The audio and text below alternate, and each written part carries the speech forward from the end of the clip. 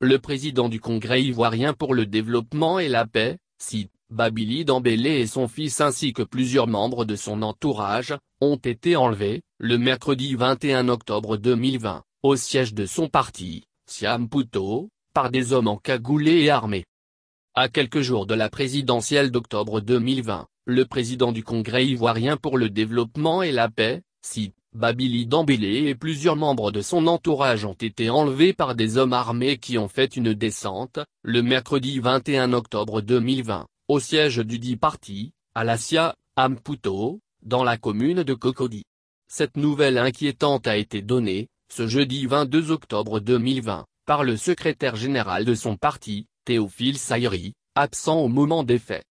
En effet, selon Théophile Sayri, il s'apprêtait à se rendre, ce jeudi 22 octobre 2020, au siège du site. Comme d'habitude, avant de m'y rendre, j'appelle le gardien pour savoir si le président est déjà arrivé.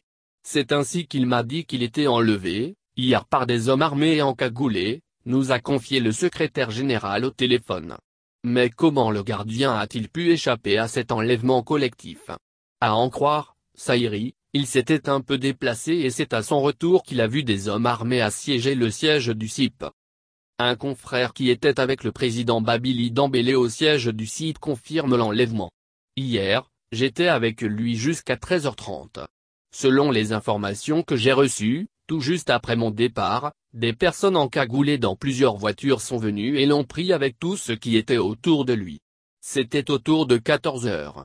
Ils sont partis avec lui pour une destination inconnue, raconte-t-il, avant d'ajouter que tous ceux qui ont été enlevés sont injoignables, il, Babili Dambélé, NDLR, est injoignable sur ces numéros que tu connais mais il a un numéro sur lequel je l'appelle qui sonne, mais il ne décroche pas.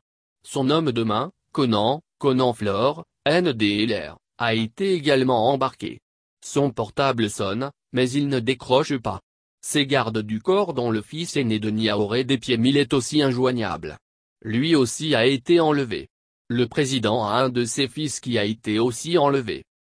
Babili Dambélé, fils de Couteau, ancien conseiller du président Henri Conan Bédier et ambassadeur auprès des pays arabes sous Laurent Gbagbo a été emprisonné en 2012 puis libéré un an plus tard pour non-lieu. Le 21 juillet 2019, plusieurs ex-combattants des ex-forces nouvelles et pro-Babo ont décidé d'adhérer à son parti, le CID. Depuis, le président Babili Dambélé est dans le viseur des autorités ivoiriennes.